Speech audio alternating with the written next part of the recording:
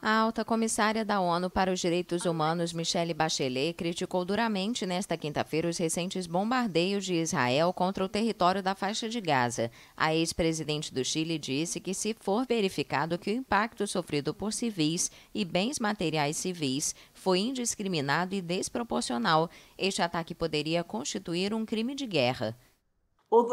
Embora Israel tenha tomado uma série de precauções, como aviso prévio de ataques em alguns casos, os bombardeios aéreos em áreas densamente povoadas resultaram em um alto nível de mortes e feridos civis, bem como uma destruição generalizada da infraestrutura civil.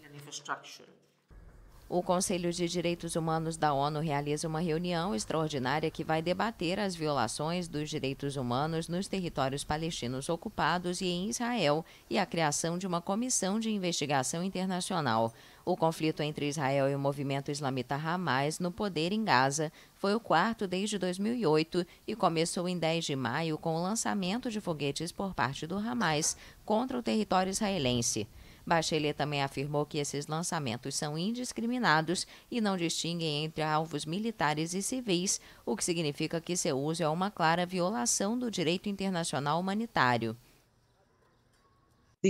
Esta organização terrorista Hamas disparou mais de 4.400 foguetes contra civis israelenses. Eles foram disparados de casas, hospitais e escolas palestinas. Cada um desses foguetes constitui um crime de guerra, cada um desses constitui uma tragédia. O Estado hebreu respondeu aos foguetes com bombardeios em Gaza. O conflito teve origem nos confrontos na esplanada das mesquitas em Jerusalém Oriental, zona ocupada por Israel. Os distúrbios aconteceram pela ameaça de despejo de famílias palestinas da parte leste da cidade, em benefício de colonos israelenses. De 10 a 21 de maio, 254 palestinos morreram nos bombardeios israelenses em Gaza, incluindo 66 menores de idade. Em Israel, os foguetes lançados a partir da faixa mataram 12 pessoas.